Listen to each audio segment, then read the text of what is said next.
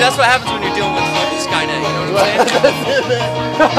Skynet, yeah, look at yeah, dude. You know, After us. you know what I'm saying? Here, while we wait for that, I'm just gonna snap one couple real fast. I like this. My name is Trevor James, and this is Jam in the Van, and we're gonna jam a little bit. This song's called Assassin.